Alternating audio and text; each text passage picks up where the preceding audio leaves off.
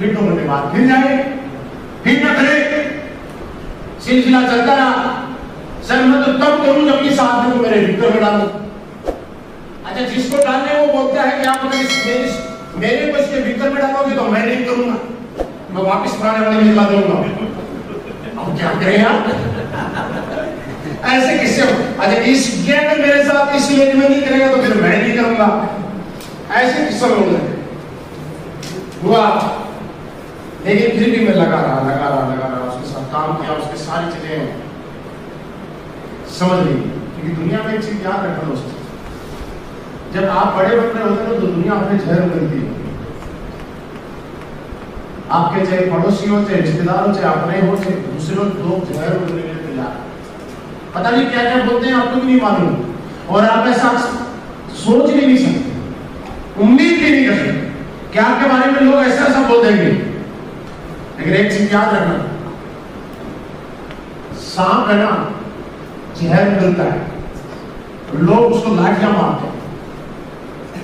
और भगवान बोले हैं ना, उसने जहर पी लिया। पूरी दुनिया पूछती है सब।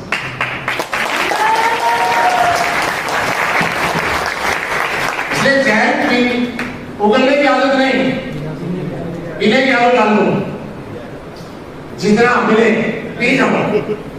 और जितना ज़्यादा जहर पी जाओगे तो दुनिया उतना ही पूछे भगवान शंकर को आज इतना ज़्यादा क्यों पूछते हैं? नागराज भी साथ रखते हो। क्योंकि सबसे ज़्यादा जहर पिया ना तो पूरी दुनिया पूछती है। तो जहर पीना शुरू किया हमने। काम करना शुरू किया। उस बंदे का काम भी चलाया, उसके दोनों ने मैंने काम किया। आज तो डेढ़ लाख लोगों की टीम है उसकी टीम। मेरी टीम का मेरे बाद पहला अग्रणी वही था। सोच के देखिए। मेरी टीम का मेरे बाद पहला अग्रणी वो था। सोचना कुछ बात हो? हाँ वही। क्योंकि मेरे पास कोई ऑप्शन ही नहीं था ना किसके साथ काम करूँ? कोई तो ठीक है। तो जो भी मिला हमने किसी को चलाया क्योंकि माहौल बनाना था। पॉजिटिव करना किसी के साथ तो करना ही पड़ेगा। ना करे तो झेलने पड़े तो किया करते करते करते उसको हमने एक बात समझाई जाए, कुछ कमी क्या इनके पास इनकी बुराई, इनके पास इनकी बुराई, इनके पास इनकी बुराई, कंपनी में काम कर रहा उसी की बुराई सबकी बुराई के अलावा और गाली रोज के अलावा उसका कोई काम नहीं। बहुत बार समझाया, बहुत बार समझाया। हमारा भी बिज़नेस तकरीबन रूटीन में आ गया। मैं रूटीन स्टार के आसपास पहुँचा। वो टोपाज बनने वाला था। तकरीबन उसके इंसेंटिव लेवल में 85 आईडी हो गई टोपाज बनने के लिए कितनी चाहिए? एक सौ एक सौ इंसेंटिव तो 20 आईडी के आसपास बची हुई थी। और सात आठ हज़ार का उसका वीकली चेक बनता लेकिन वही गाली गलौज, बदतमीजी मतलब सारी चीज़ें वही करना शुरू अरे मदन लाल जी उसके अप्लाई थे। लेकिन मदन लाल जी का लेवल छोटा और उसका लेवल बड़ा। हाँ बड़ा। मैंने कहा मैं सोचा साहब तो उन्होंने बोला सर अब दोबारा ऐसी बातें कर रहा है। अच्छा हमें गाली देखी। हमारी कंपनी के बारे में गलत बोलती और लोगों को व्हाट्सएप पे रिकॉर्डिंग भेज देता था। दूसरी कंपनी वालों से बात करके और उनके गाली गलौज करके दूसरे मार्केट में रिकॉर्डिंग भेज दी अब कितना अब झेलने की ताकत खत्म हो गई। एक आदमी की लिमिट होती है ना झेलने की मैंने कहा साहब अब छोड़ेंगे अब वो वक्त आ गया है कि बस अब इससे ज़्यादा झेला नहीं पी सकते। हमने साहब उस दिन उसको छोड़ दिया उस दिन का दिन हो कि आज का दिन हो वो आदमी हमारे साथ काम नहीं कर रहा आज जिन जिन लोगों को मिलता है एक ही बात बोलता है कि मेरी ज़िंदगी का सबसे गलत डिसीज़न है किसी देश को मैंने छोड़ा। आज भी रोता है सर। और रोता क्या है? खून के आँसू वही मदन लाल जी जो इनका लेवल उनसे छोटा था, उन्होंने तीन करोड़ रुपए कमा लिए। सिर्फ़ छोटा क्यों बताऊँ? वो ये सोचता था कि मैं गाली गलौज करता था, नखरे दिखाता था और पता नहीं क्या क्या बदतमीजी की। उसके बाद भी महिपाल जी मेरे को घर पे हर बार बनाने आए तो इस बार भी बनाने आएँगे। मैंने कहा, बेटा वक्त वक्त की बात है। वक्त तुम्हारा है वक्त अपना है वो वक्त मजबूर कर था, हम मजबूर नहीं थे, वक्त मजबूर था तो याद रखना, वक्त के अनुसार आपको चलना ही पड़ेगा, जो वक्त आपसे मांग रहा है ना, उसके अनुसार फ्लेक्सिबल आपको होना देखिए, हमने गलत नहीं किया माँ कभी मैं नहीं करा कि हमारा जो बिज़नेस होने वाला हमने गलत कर दिया। गलत नहीं किया। हमने जब तक बिज़नेस नहीं हुआ, उसकी गलत चीज़ों को सहा। और गलत चीज़ों को सहना बदल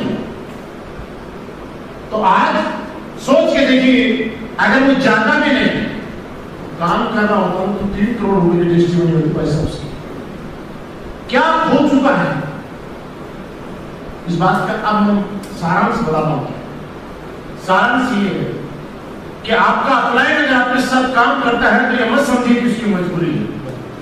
वो आपको भी आगे बढ़ाना चाहता है। इस धंधे में हमारी किसी से जाति दुश्मनी नहीं होगी सबका साथ, सबका विकास मोदी जी सिर्फ़ बोलते हैं वहाँ होता नहीं है लेकिन अपने यहाँ होता है।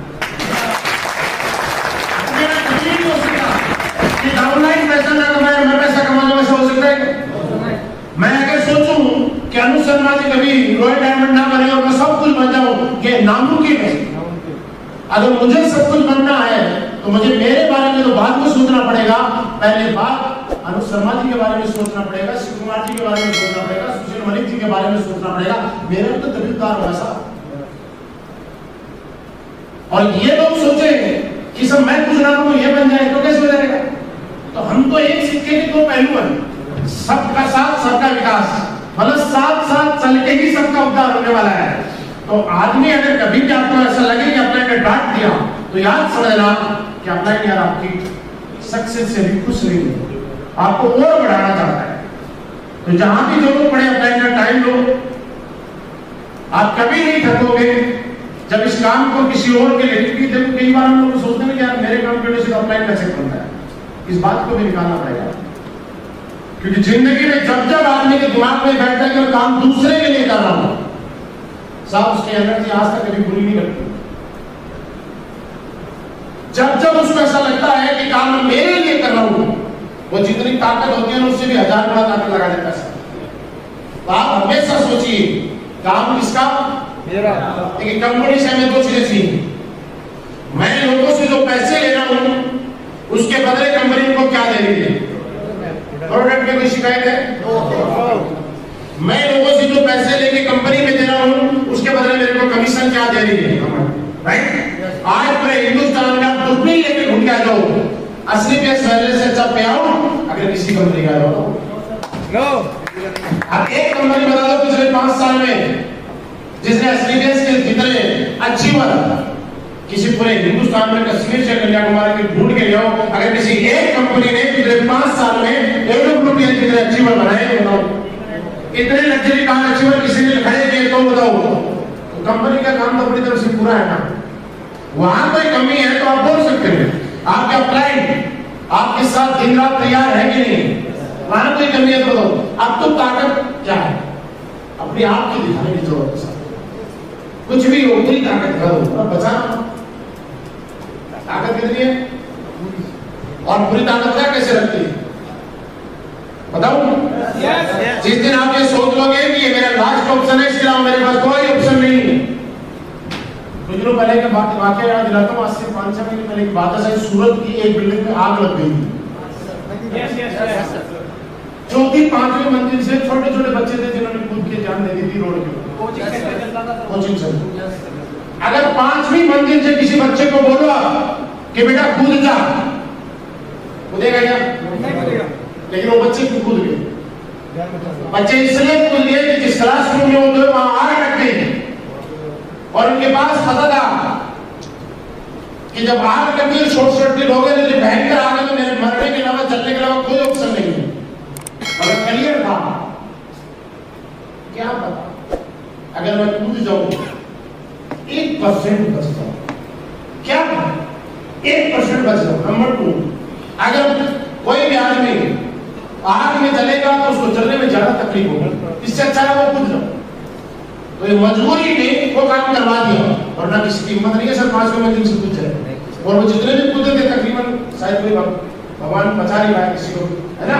क्योंकि पांचवी मंजिल बहुत होती है सर नीचे रेत नहीं रेत होती तो भी बात अलग है लेकिन नीचे तो सड़क थी रोड और बहुत सारे ऑप्टिकल्स थे। लेकिन उनके पास कोई ऑप्शन नहीं था। और जिस दिन आपके पास आप ऐसे सोच लेते हैं कि मेरे कामयाब होने के लिए और कोई ऑप्शन नहीं है सीरियस ही लास्ट ऑप्शन है। मैं आपको बताऊँ कि आप कभी काम करने से थकोगे आप